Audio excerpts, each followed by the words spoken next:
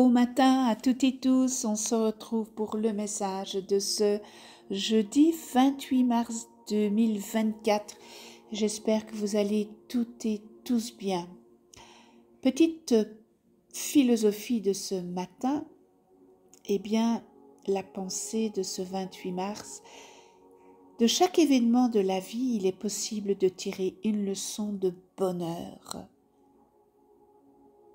de chaque événement de la vie, il est possible de tirer une leçon de bonheur. Aujourd'hui, j'ai pigé l'ange de la connexion. Est-ce que vous êtes réceptif avec votre ange gardien? C'est la communication, l'inspiration, la faculté euh, psychique. Eh bien, l'ange de la communication, il vient te dire sache que cette carte est une demande de connexion de ton ange gardien. Eh bien, ton ange gardien demande d'avoir une connexion avec toi. Tu possèdes de fabuleux dons de connexion, de magnifiques possibilités de te relier avec amour à ton âme, au royaume céleste aux êtres de ton monde angélique et terrestre, à l'univers. Eh bien, l'ange de la collection, il t'invite à développer ton intuition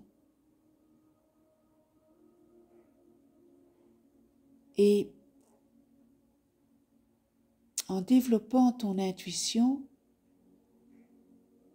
cela va faire souvent un silence en toi et autour de toi, eh bien, respire, respire profondément et fais taire ton mental.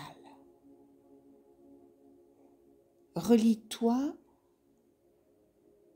à ton petit cœur et élève ton taux vibratoire en cultivant eh bien, les vibrations de joie et d'amour. Tous les jours, demeure conscient de cette force en toi, parce que tu l'as en toi, de cette possibilité de développer eh bien, les facultés psychiques que tu possèdes déjà. Tu peux être un, un réel récepteur avec ton ange gardien ou avec un maître ascensionné ou avec ton guide. On t'invite à développer tes facultés psychiques et surtout de choisir l'amour et la paix. Choisis de nous ouvrir les bras. Voilà ce que ton ange vient te dire.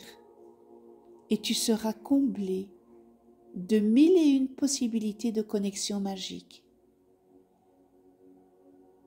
Et certainement que tu sentiras, tu te sentiras bercé et appuyé par l'univers tout entier. Accueille ton ange. Demande-lui, lui, il veut communiquer avec toi. Laisse-le communiquer avec toi. Il te montrera ce que tu dois savoir. Quel beau message, n'est-ce pas, de l'ange de la connexion. Allez, je termine avec euh, l'affirmation positive. Les erreurs euh, sont seulement des leçons à apprendre. Ben oui, voilà.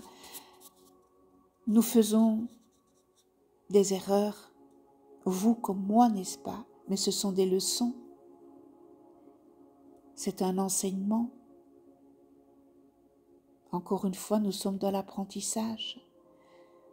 Et nos erreurs, eh bien, ce sont des leçons. Que nous ne ferons plus, hein, ces erreurs. Ça nous sert de leçon. Je vous souhaite une excellente journée et puis on se retrouve demain pour le dernier message de cette semaine. Et d'ici là, eh bien, prenez soin de vous, de ceux que vous aimez, de ceux qui vous entourent, mais prenez soin de vous dans la douceur, en douceur. Ne soyez pas sévère avec vous. Et moi, eh bien, je vous embrasse et je vous dis à demain.